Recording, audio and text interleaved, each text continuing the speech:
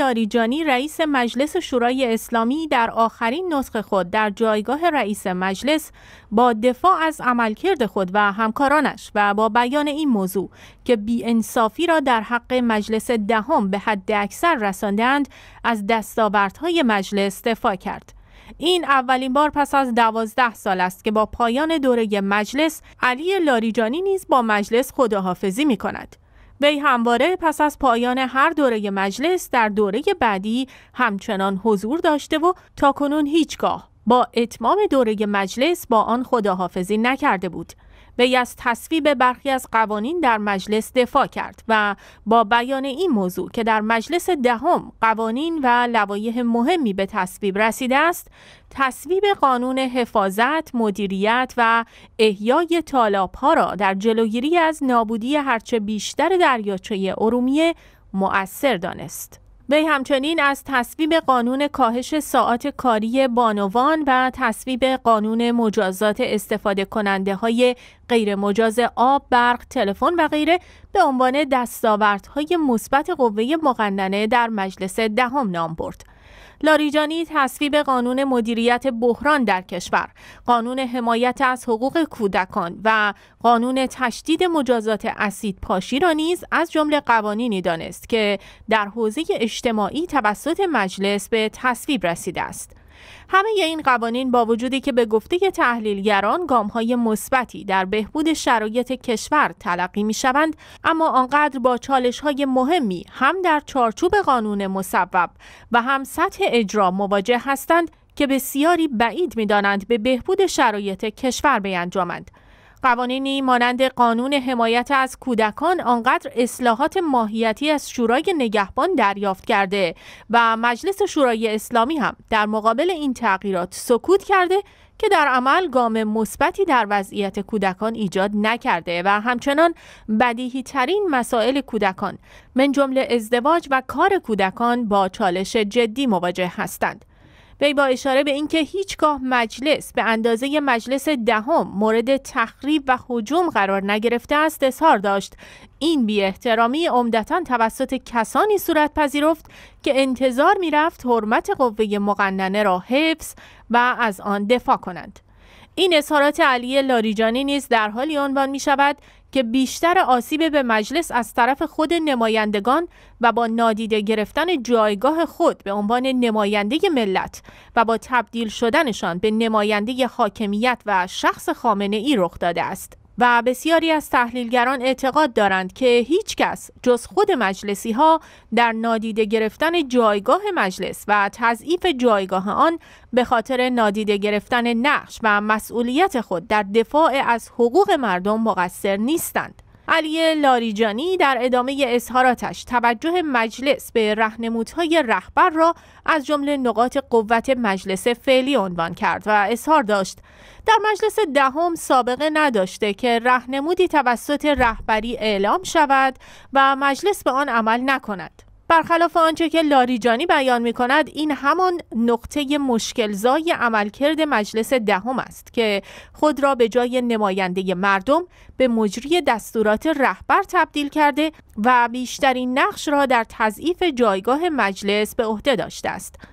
اظهارات علی لاریجانی گرچه به شدت قابل انتقاد است و به کاستی های اصلی در مجلس و تضعیف جایگاه مجلس توسط خود مجلسی ها اشاره نکرده اما به علت رویکرد دفاعی آن از جایگاه مجلس مورد دفاع محمود صادقی نماینده منتقد مجلس نیز قرار گرفته است و وی این نطق اختتامیه را نطقی کم نظیر و سریح در دفاع از جایگاه مجلس عنوان کرد. و در دفاع از نطق لاریجانی به خاطر دفاع وی از جایگاه مجلس از وی تقدیر و او را شخصیتی کم نظیر با ظرفیت بالا و توانمند برای مدیریت چالش ها عنوان کرد.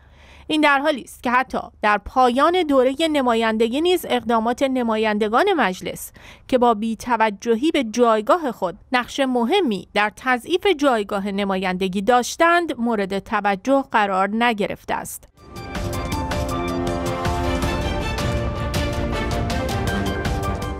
محمد جواد ظریف وزیر امور خارجه ایران روز پنجشنبه در گفتگویی که به مناسبت روز جهانی قدس با اتحادیه رادیو و تلویزیون های اسلامی انجام شد ضمن تاکید بر اینکه موضوع فلسطین یک موضوع محوری برای جهان اسلام است اظهار داشت. جمهوری اسلامی به خاطر دغدغه خود نسبت به مسائل جهان اسلام نمی‌تواند انتخابی جز این داشته باشد که در کنار خواسته های مردم فلسطین بایستد وی در انتقاد از این روی کرد که مسئله فلسطین یک مسئله کوچک و منطقه‌ای دیده شود آن را یک مشکل جهانی دانست و اظهار داشت. منافع اسرائیلی هاست که سیاست آمریکا را میچرخاند. وی همچنین با اشاره به سلاح‌های کشتار جمعی رژیم اسرائیل اظهار داشت. داشتن سلاح هسته‌ای یک موضوع محلی نیست بلکه موضوعی منطقه‌ای و جهانی است. ظریف همچنین با اشاره به لابی های گسترده جهانی در حمایت از سلاح های کشتار جمعی اسرائیل اظهار داشت با وجود صدور قطنامه های متعدد علیه سلاح های کشتار جمعی اسرائیلی جامعه بین المللی به علت لابی های گسترده جهانی نتوانسته است این قطنامه را اجرایی کند. وی همچنین رویکرد جامعه جهانی نسبت به فلسطین و موضوع پایمال شدن حقوق فلسطینی ها را مورد انتقاد قرار داد و اظهار داشت اسرائیل با گروگانگیری جامعه جهانی مانع از تحقق خواسته جهانی برای جلوگیری از توسعه سلاح‌های کشتار جمعی توسط اسرائیل شده است. به اظهار داشت استفاده از تروریسم به عنوان یک ابزار سیاست خارجی و استفاده از سرکوب جمعی و تنبیه جمعی علیه یک محله یا یک روستا برای پیگیری سیاست های اسرائیل برای جامعه جهانی قابل پذیرش نیست و همگی بخشی از نگرانی کل جامعه جهانی نسبت به اقدامات اسرائیل است. وی علت اصلی بحرانهای منطقه را اسرائیل دانست و اظهار داشت جنگهای متعددی که صورت گرفته به خاطر منافع و یا سیاستهای اسرائیل بوده است. ظریف در ادامه اظهاراتش مشروعیت دولت اسرائیل را مهمترین چالش این کشور عنوان کرد و با بیان اینکه این کشور نه مشروعیت داخلی و نه مشروعیت بین المللی دارد اظهار داشت خود اسرائیلی ها هم معتقدند بدون دشمن خارجی نمی توانند زندگی کنند و همیشه نیاز دارند که یک دشمن خارجی داشته باشند. وی همچنین با تایید تلویحی حرف اسماعیل هنیه در این خصوص که قاسم سلیمانی شهید قدس است اظهار داشت. قاسم سلیمانی تمام زندگی خودش را وقف مقاومتی کرده بود که همه هدف آن مقاومت آرمان فلسطین و قدس است. دفاع ایران و تبدیل نیروهای ایرانی به نیروهای مقاومت قدس و نیروهای حامی فلسطین و حزب الله در سالهای اخیر به دفعات مورد انتقاد قرار گرفته و بسیاری از منتقدان نسبت به صرف سرمایه های انسانی و اقتصادی جمهوری اسلامی در قدس و محور مقاومت در سوریه، لبنان، فلسطین و عراق ابراز نگرانی کرده و نارضایتی خود را اعلام کردند. بسیاری از مردم با شعار نقض نه لبنان تاکنون بارها مخالفت خود را با سیاست های جمهوری اسلامی در خصوص هزینه کردن سرمایه های انسانی و اقتصادی ایران در محور مقاومت اعلام کردند. وی همچنین اظهارات آیت الله خامنه ای رهبر جمهوری اسلامی در خصوص نابودی اسرائیل در 25 سال آینده را یک پیشبینی و اقدام عنوان کرد و اظهار داشت با توجه به روند فعلی اسرائیل بسیاری این واقعیت را قابل تحقق می دانند و حتی تاکید دارند که بر اساس واقعیت های جمعیتی هم دولت اسرائیل به سمت تحقق این پیش بینی حرکت می کند. به اظهار داشت وضعیت افزایش جمعیت در بین سایر گروه ها اسرائیل را به این نگرانی مبتلا کرده که ممکن است این واقعیت و پیش بینی به وقوع بپیوندد.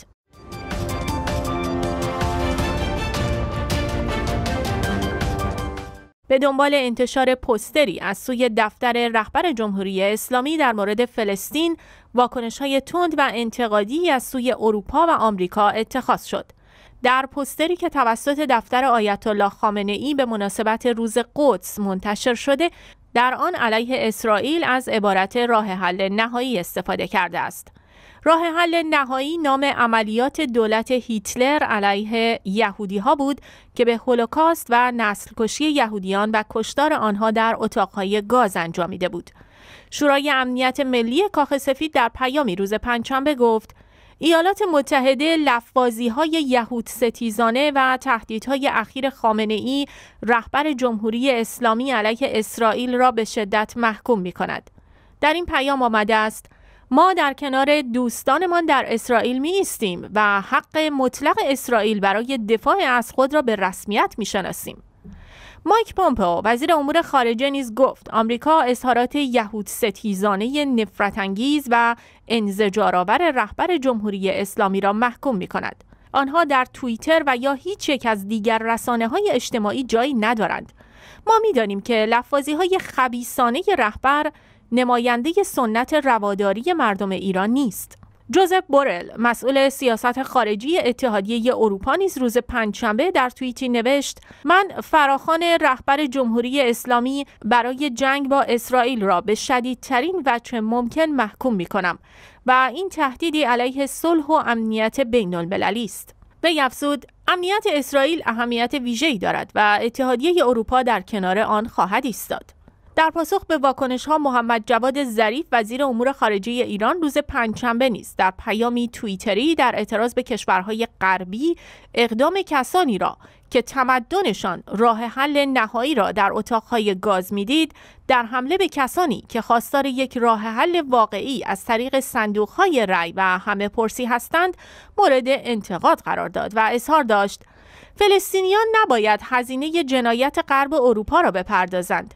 گرچه رهبر جمهوری اسلامی در ادامه در پاسخ به این واکنش ها اظهار داشت منظور از محو اسرائیل محو دولت اسرائیل است نه محو یهودی ها هرچند برخی معتقدند استفاده از این عبارت که در ادبیات بین المللی معنی خاصی دارد نمی‌تواند تصادفی بوده باشد.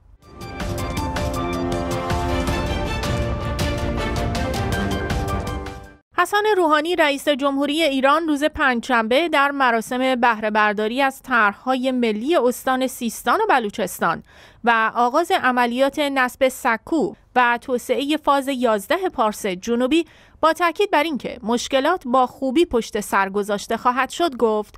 جمهوری اسلامی اجازه نمی دهد لبخندی بر صورت مستبدین کاخ سفید بنشیند. وی بار دیگر به فشار بی سابقه تحریم ها علیه ملت ایران اشاره کرد و اظهار داشت این فشار شدید و بی سابقه نمی تواند بر حرکت مردم تأثیری بگذارد.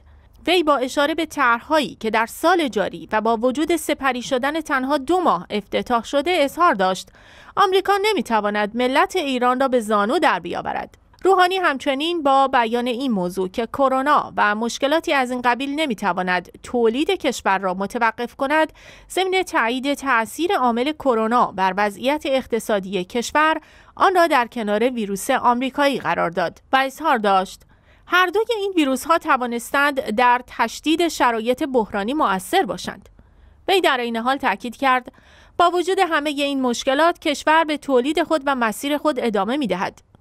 وی ضمن اشاره به تاکید رهبر بر اینکه سال جدید باید سال جهش تولید باشد اظهار داشت. دولت تمام تلاش خود را خواهد کرد تا هدف رهبری را در این خصوص محقق کند. وی همچنین به اقدام دولت برای تأمین آب آشامیدنی و کشاورزی برای سیستان و بلوچستان اشاره کرد و اقدامات انجام شده در خصوص افتتاح پروژه های آبرسانی در سیستان و بلوچستان را بسیار مهم ارزیابی کرد و اظهار داشت این اقدامات تحولات مهمی را در عراضی کشاورزی سیستان و بلوچستان و همچنین تأمین آب آشامیدنی استان ایفا خواهد کرد. به اظهار داشت تأمین آب برای عراضی پیش بینی شده در پروژه حدود یک میلیون تن مواد غذایی را در اختیار مردم قرار خواهد داد و موجب حرکت و اشتغال خوبی در منطقه سیستان خواهد شد. این اظهارات حسن روحانی در حالی عنوان می شود که بنا به گفته بسیاری از متخصصان و کارشناسان بر اساس آنچه که سالهاست مطرح می کنند توان سرزمینی ایران از نظر منابع آبی امکان افزودن به منابع غذایی و محدوده های کشاورزی را ندارد. و استفاده بیش از این از آب برای تأمین کشاورزی و تأمین مواد غذایی مورد نیاز جز تشدید نابودی زادآوری سرزمینی ایران دستاورد دیگری نخواهد داشت. اظهارات حسن روحانی در خصوص توسعه تولید در کشور در حالی عنوان می شود که به گفته کارشناسان اقتصادی در بهترین حالت تنها ظرفیت های اسمی تولید در ایران در حال افزایش هستند که به گفته کارشناسان و تحلیلگران اقتصادی به قفل شدن سرمایه های اقتصادی می انجامد و با توجه به نسبت بالای سرمایه های قفل شده به افزایش بازدهی اقتصادی کشور کمک چندانی نمی کند. محدودیت صادرات و واردات و قطع ارتباطی اقتصادی ایران با جهان و عدم امکان مراوده طبیعی تجاری با جهان به گفته تحلیلگران از جمله مواردی است که به قفل شدن و بازدهی پایین سرمایه گذاری های اقتصادی و تولید در ایران منجر شده و موجب شده است تا با وجود توسعه پروژه های عمرانی و افتتاح متعدد پروژه ها که البته بسیاری از آنها هم سوری هستند اتفاق چندانی در حوزه تولید در کشور رخ ندهد و سرانه ناخالص ملی در کشور که عامل اصلی در رشد و توسعه است افزایش چندانی پیدا نکند.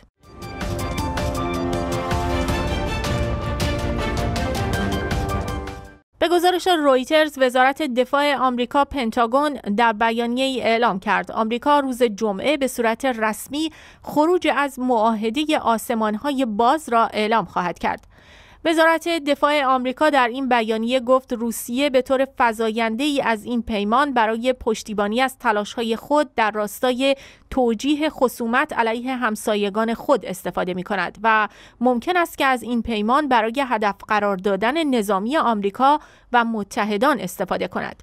به گزارش CNN خروج از این توافق می تواند به تنش در روابط با مسکو دامن زده و واکنش متحدان اروپایی و همچنین برخی از اعضای دموکرات کنگره را به همراه داشته باشد. معاهده امنیتی آسمان باز به امضای 35 کشور رسیده و بر اساس آن کشورهای عضو متحد شدند تا در آسمان سایر اعضای این معاهده پروازهای جاسوسی انجام ندهند. این معاهده نقش مهمی را در محدودیت رقابت تسلیحاتی بین کشورها ایفا می کند.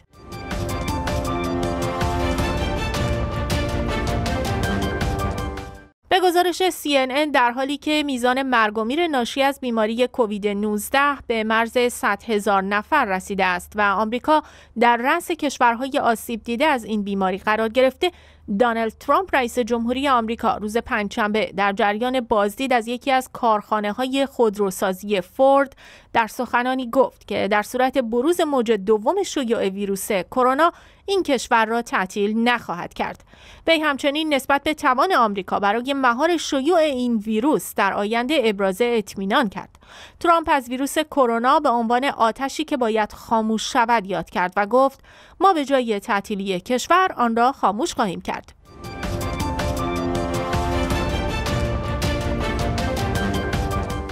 به گزارش رویترز و به نقل از شبکه خبری MSNBC به دنبال برملا شدن ولخرجی های مایک پومپو وزیر امور خارجه آمریکا از جیب مالیات دهندگان برای پذیرایی از مدیران عامل مجموعه های خاص، شخصیت های رسانه‌ای، سیاستمداران محافظه کار و برخی مقامات خارجی غیرمسئول در دستگاه دیپلماسی کشور مطبوع خود موج انتقادها از پومپئو بالا گرفت. بر این اساس گفته می شود وزیر امور خارجه آمریکا در حالی میهمانی های پرزرق و برق برگزار می کرده است که فقط 14 درصد از میهمانان این مجالس را دیپلمات ها و مقامات مسئول خارجی تشکیل می دادند. مقامات وزارت امور خارجه آمریکا از سال 2018 میلادی که دریافتند هزینه این میهمانی های خاص از بیت المال و پول مالیات دهندگان آمریکایی پرداخت می شوند درباره پیامدهای آنها ابراز نگرانی کردند. نکته قابل تأمل این که بسیاری از این میهمانی ها طوری برگزار می شدند که گویا در راستای مأموریت های دیپلماتیک وزارت امور خارجه آمریکا بودند و طی آنها به امور دولتی و دیپلماتیک رسیدگی می‌شد. افراد با نفوذ، برخی خوانندگان مشهور، مجریان شبکه فاکس نیوز و دیگر اسامی معروف در صدر فهرست میهمانان زیافت های شام پومپو قرار داشتند. برخی ها می‌گویند شماری از میهمانان این مجالس را افرادی تشکیل می‌دادند که در صورت حضور پومپئو در انتخابات ریاست جمهوری نقش حامیان مالی او را بازی خواهند کرد. منابع آگاه می‌گویند مایک پومپئو در این میهمانی ها تلاش می‌کرد جایگاه خود را تقویت کند.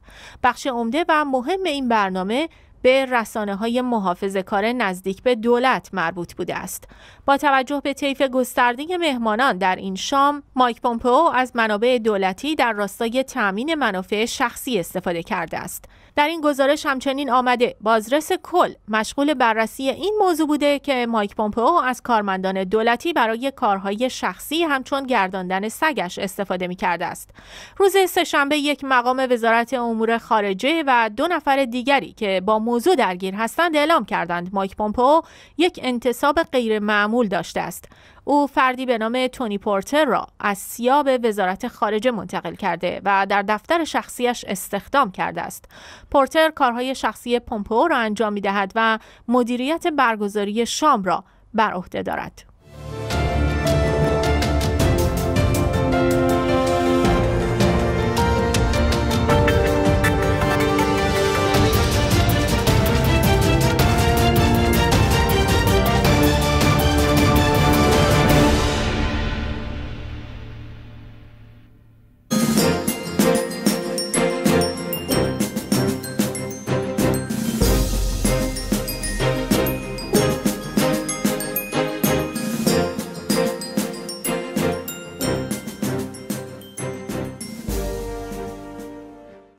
افزایش تنش میان امریکا و چین در ماهای اخیر چشمگیر بوده. حال به نظر می رسد این پرسش پیش روی دولت مردان کاخ سفید قرار گرفته است که فشارها بر چین تا چند اندازه باید باشد. به انتخابات ریاست جمهوری امریکا تنها چند ماه دیگر باقی مانده است و چالش با چین به نظر می رسد یکی از گزینه است که ممکن است بر سرنوشت انتخابات تاثیر بگذارد. شبکه خبری CNN در این رابطه در گزارشی عنوان می کند این موضوع که اعمال مجازات های تجاری بر چین تا چه اندازه می تواند صورت بگیرد که از یک طرف به اقتصاد امریکا آسیب نزند و از طرفی خطری برای شانس مجدد انتخاب پرزیدنت ترامپ ایجاد نکند موضوع مهمی است. به نظر می رسد دولت آقای ترامپ به دنبال راههایی برای مجازات تجاری چین است بدون آنکه تاثیر منفی بر شانس مجدد خود داشته باشد. به نوشته CNN بسیاری از امریکایی ها از جمله کشاورزان این کشور که تحت تاثیر جنگ تجاری چین چین و امریکا قرار گرفتند امید داشتند تا صادرات 200 میلیارد دلاری امریکا به چین بتواند در این زمینه مشکل گشا باشد. اما به گفته این شبکه خبری تا کنون حدود نیمی از این مبلغ توسط چین خریداری شده است. ایالات متحده امریکا در چند ماه اخیر بارها چین را از بابت سهلنگاری در مدیریت کرونا ویروس و عدم ارائه اطلاعات شفاف در این زمینه سرزنش کرده است. با این حال تعداد بسیاری در واشنگتن معتقدند که در مورد چین باید اقداماتی واکنشی صورت بگیرد. اما نحوه انجام این موضوع خود دارای اختلاف نظرهای اساسی است. در حالی که دولت مردان در کاخ سفید درگیر این موضوع هستند که چین در مورد ویروس کرونا اطلاعات ناکافی را به جامعه جهانی داده اما عده دیگری در کنگره معتقدند که رابطه با چین باید حفظ شود. از این منظر این موضوع به اختلاف نظرها در میان جناهای مختلف سیاسی امریکا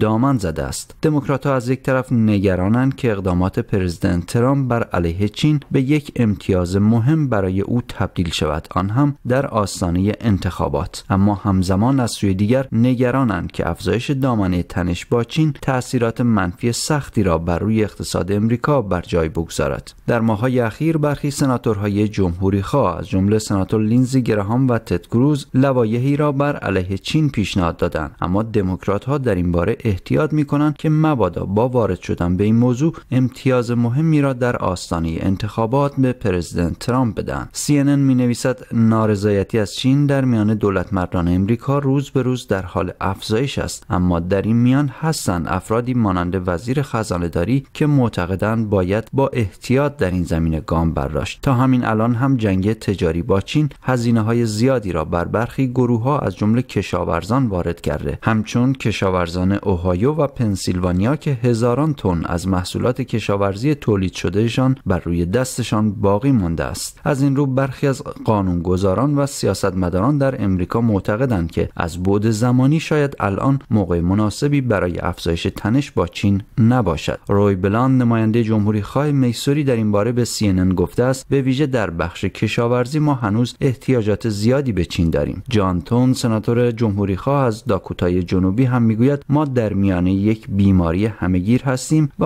اولویت ما فعلا این باید باشد.